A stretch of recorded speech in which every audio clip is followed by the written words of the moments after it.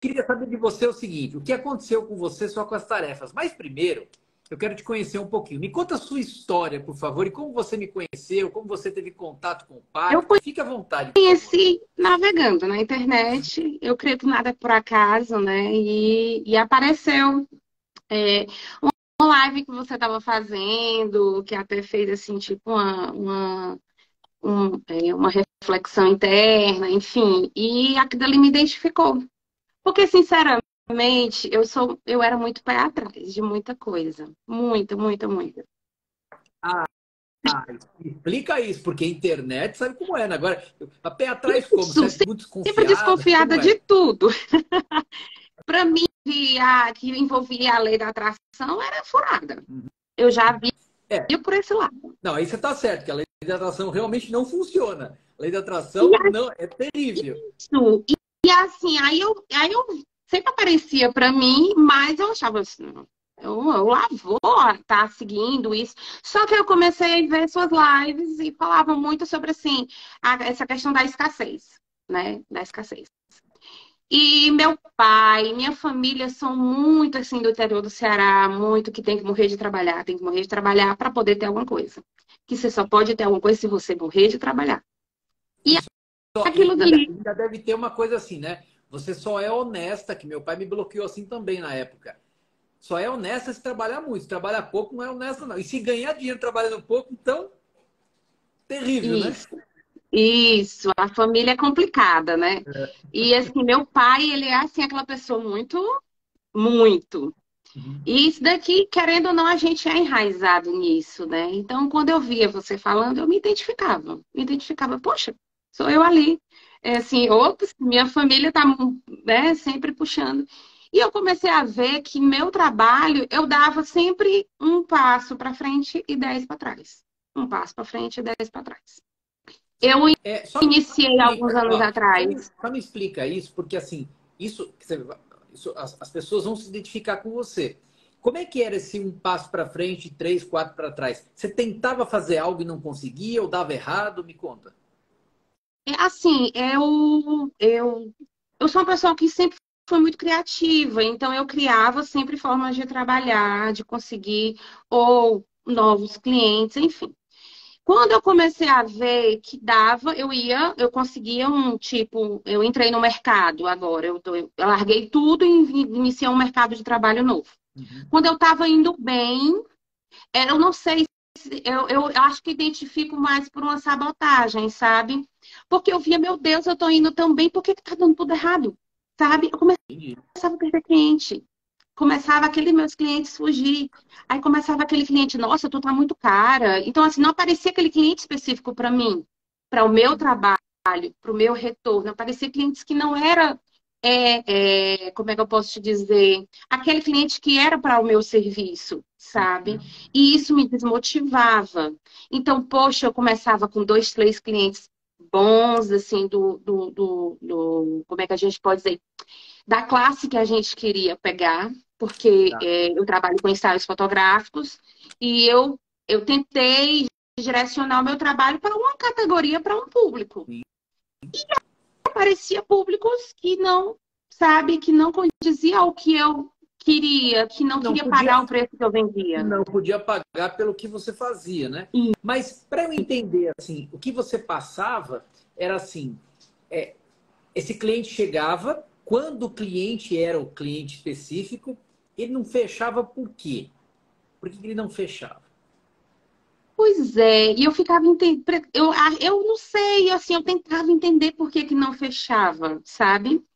É, no, concorrência não era, porque o meu, trabalho é diferenciado numa região né, que não tem tanta gente que faz o que eu faço. Uhum.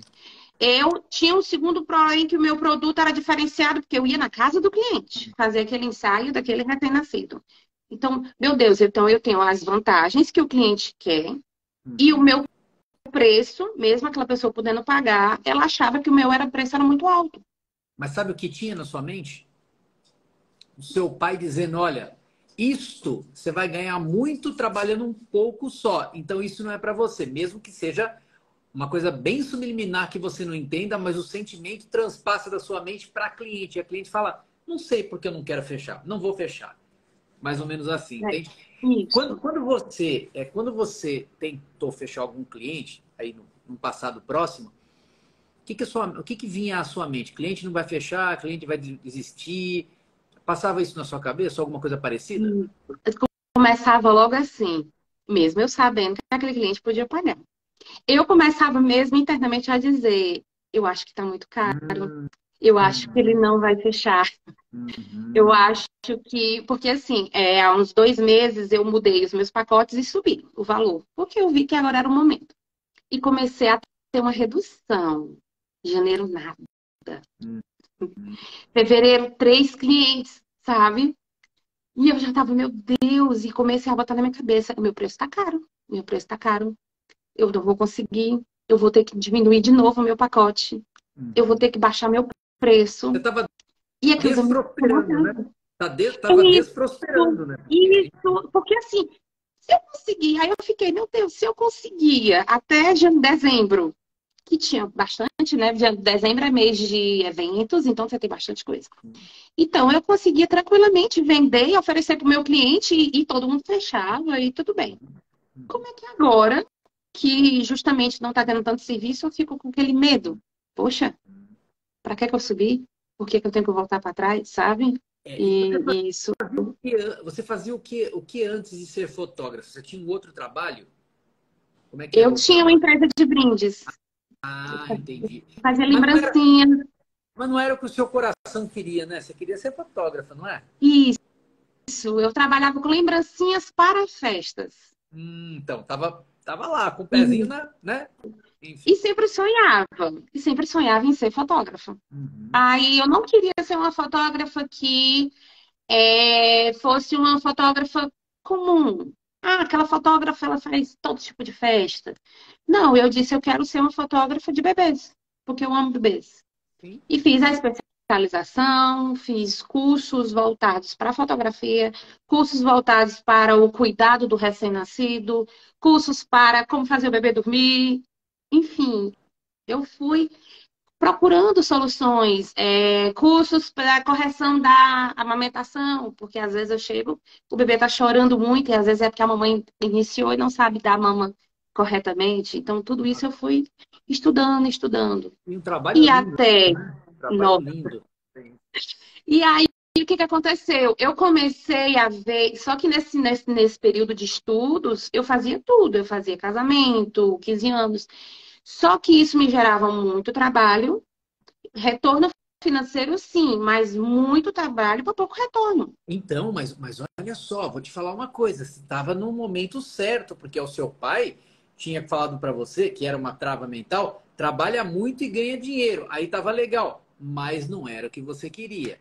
Aí Isso. você foi para o que você queria, né? Só que você foi para o que você queria e a, a tua mente consciente tem o teu talento e você é talentosíssimo, você sabe disso. Só que aí veio o bloqueio, né? E aí nada tá dando certo, é isso?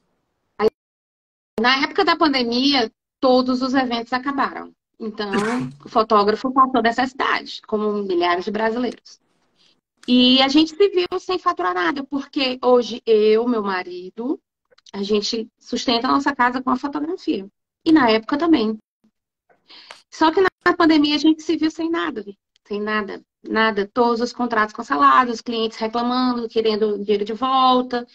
Foi nesse momento em que eu disse para mim que eu não queria mais isso.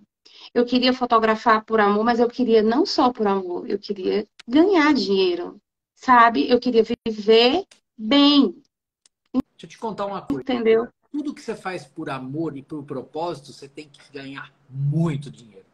Muito dinheiro. Com certeza. E eu me vi sem nada.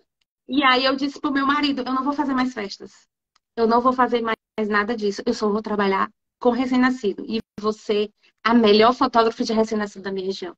E vou ganhar dinheiro com isso. Está fazendo com amor porque é o que você gosta. E agora tem que ganhar mais. Aí, beleza, tava meio travada a coisa.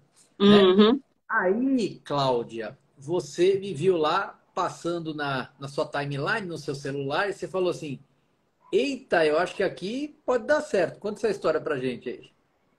Pronto. Aí, quando foi um mês depois que eu já estava lhe seguindo, apareceu a questão do pacto da prosperidade. Aí eu olhei assim, é, não custa nada, vou tentar.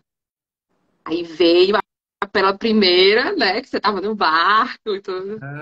E eu, quando você disse, não, você vai doar para uma pessoa que tem muito aquele próspero.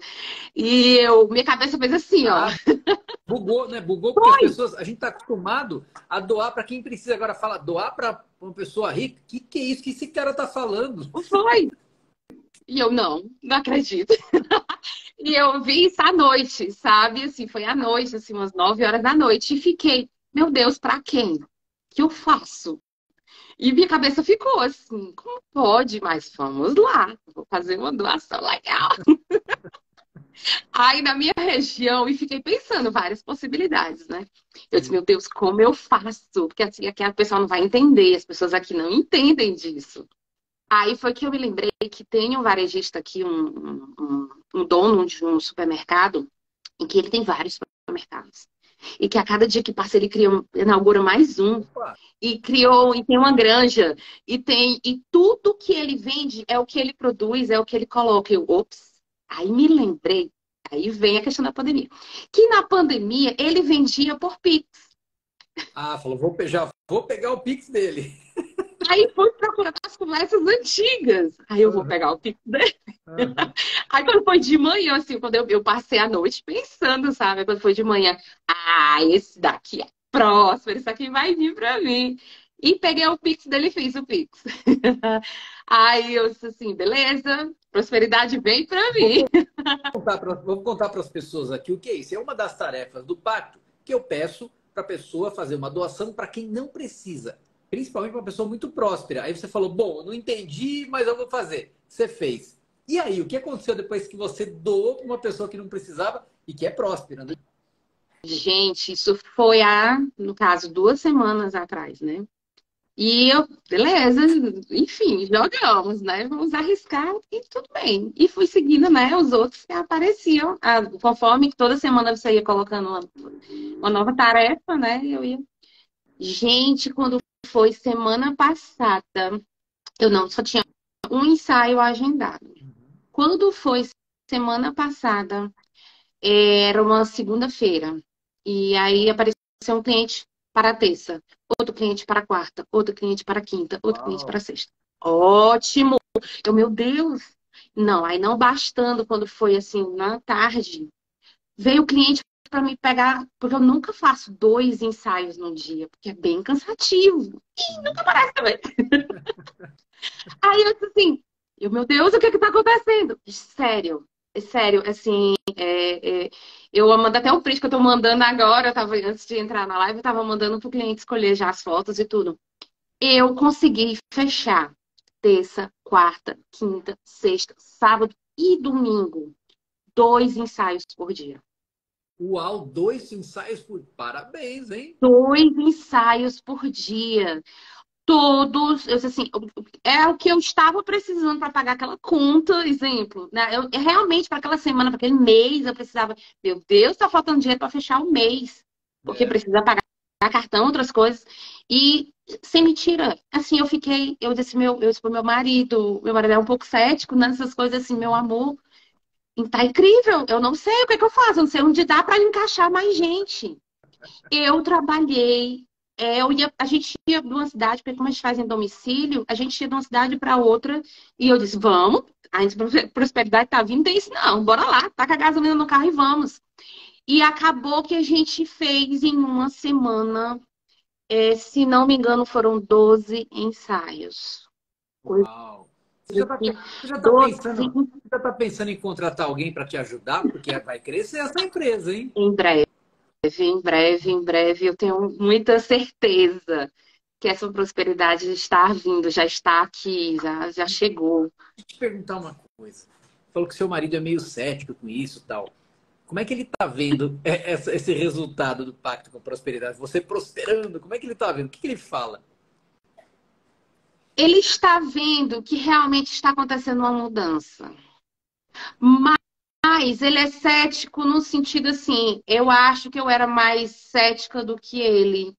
É, em questão de você estar tá se sabotando sempre.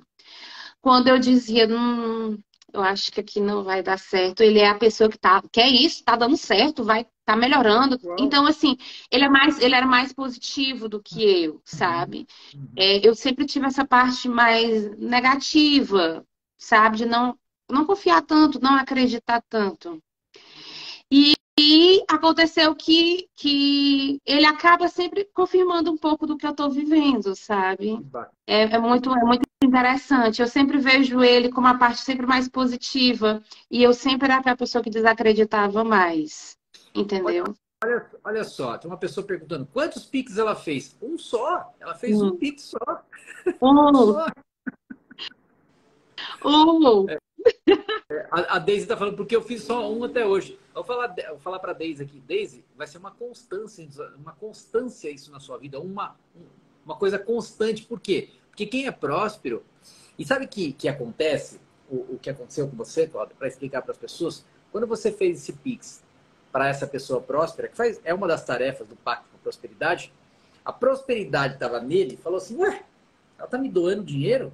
Ah, eu quero ela, vai lá e te abraça. Então, assim, e aí a tua mente vai trabalhando cada vez mais, cada vez mais para prosperar. Me diga uma coisa: quais são os seus sonhos a partir de agora, já que você está acreditando agora, que você vai crescer ainda mais. Nossa. Só que você vai crescer agora de uma forma que você nunca mais vai perder, que a prosperidade vai te pegar. E aí não tem mais como perder isso. Tem gente que vai, volta, vai, volta. Isso não é o nosso objetivo.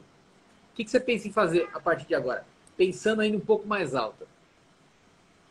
Eu estou, assim, o meu, o meu sonho hoje é realmente crescer a minha empresa, me estabilizar no que eu quero em relação. Porque, assim, eu trabalho com ensaios com tanto amor, meu trabalho, eu faço ele com tanto desempenho, com tanto cuidado que com bebês, sabe? Que é uma profissão muito séria. Mas eu quero me valorizar mais nisso, porque eu passo horas em um ensaio, entendeu? Então eu quero sim ter ser reconhecida por um trabalho maravilhoso que eu faço, sabe? Então eu quero sim ter esse reconhecimento financeiro desse valor que eu passo tanto no atendimento ao meu cliente, no, durante a sessão, o pós-sessão. Então, eu acho que sim, eu, eu deveria ganhar muito mais, sabe? Posso te falar então, uma coisa? Eu quero... falar uma coisa? Hum. Aumenta um pouco o seu preço em uns 20%. Aumenta. Porque quem é próspero, quem é próspero, aumenta o preço e lota a agenda. Vou repetir. Quem é próspero, aumenta o preço e lota a agenda. Eu sei que tem um mercado tal, mas nem aí para o mercado pratica o seu preço, porque assim, a valorização vem do quanto a pessoa entende que você vale, quanto vai te pagar. E eu, eu me lembro que meu, meu filho tem sete anos hoje, mas ele foi fazer um exame como esse, um ensaio como esse, e ele era tão pituchuco assim, mas os dois profissionais da época, foi lá em Curitiba, eram sensacionais, pegaram, né, acolheram, ele ia chorar, aí passa a mão na barriguinha e tal, para poder tirar as fotos. Eu acho um trabalho lindo. Então, vale muito. Ó, tem uma pessoa perguntando aqui, a Maga, acho que a Márcia, né? Márcia, para você fazer essas tarefas, você tem que se inscrever lá no Pacto para Prosperidade, tá bom? Eu estou falando meio por cima aqui, porque só faz a tarefa quem está lá dentro do pacto. Deixa eu te fazer uma outra pergunta agora. É, para quem está em dúvida em entrar no Pacto com a Prosperidade, você que era um pouco cética, tal, será que vai dar isso certo ou não? Deu certo que, que você fala, falaria para essa pessoa que está em dúvida? Ah, não sei se eu entro, acho que não vai dar certo. O que, que você acha? O que, que você pode eu falar para essa pessoa? Tente. Tente. Se você não tenta, você não vai saber se vai dar certo ou não. Entendeu? Tente e esteja aberta a dizer: vem para mim, sabe? Porque o que, o que me ensinou a questão do pacto até agora foi que você tem que fazer. O medo trava a gente, mas para que ter medo? Tenta. Faz o Pix de 10, de 20, de 30 que você tiver. Eu não tinha muito Sim. e fiz um Pix de um valor legal para mim no momento, mas eu vou fazer mais, entendeu? E vou continuar fazendo, porque assim, é a, é a gente também sentir, Sim. sabe? Eu acho assim, é mais a gente acreditar, dar-se a oportunidade de acreditar. Porque a gente se dá tanta oportunidade de não acreditar e a gente tenta uma vez e diz, não, tá aí, não vai dar certo. Então não vai dar certo. Deixa eu te contar uma coisa aqui, ó. A Daisy falando, ela fez o Pix lá naquele, naquela questão. Gente, a única coisa que não pode ser feito é para mim, Pix, para minha equipe, isso é proibido, só para outras pessoas, tá? Assim, a Daisy falou, a pessoa que tinha um valor para me pagar, pagou com dinheiro a mais. Na hora veio o, o que, que é? Veio na mente que foi resultado do pacto, mas claro que foi. então, vale a, pena, vale a pena fazer, então, Cláudia? Vale. Vale, vale a pena, vale a pena. Já estou aguardando ansiosamente o dia 26. Estarei bom. dentro, com certeza. Que Mas bom. é com certeza. Que bom. Deixa eu te falar uma coisa. A partir de agora, você está entrando numa nova filosofia de vida. Ou seja, aquela filosofia de vida que tinha aquele, aquelas travas, não porque seu pai quis fazer isso, isso não foi, não claro. foi por mal, mas ele veio com essas crenças, como era o meu. Isso vai se dissipar. Se dissipando, agora você vai viver um novo prisma. Você vai perceber, nossa, mas para mim dá tudo certo. Para mim vai dar, tudo que você colocar a mão vai dar certo. Então, vamos Ai. prosperar cada dia mais. Olha, Exato. sigam a Cláudia. Você é de que região? Eu sou do Ceará. Ah, do Ceará. Ibiapina, na Serra da Ibiapava. Quem estiver nessa região e quiser os serviços dela, né? E eu vou te falar, às vezes alguma, pode ter certeza, pessoas vão te contratar para te trazer, te levar para outros estados para fotografar. Pode, pode aguardar, isso vai acontecer. Viu? Irei, irei.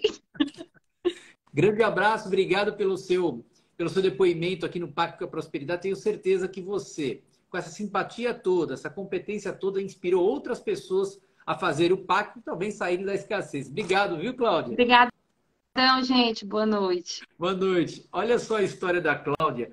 Que maravilha, né? A Cláudia, ela é fotógrafa e ela não estava fechando nada, né?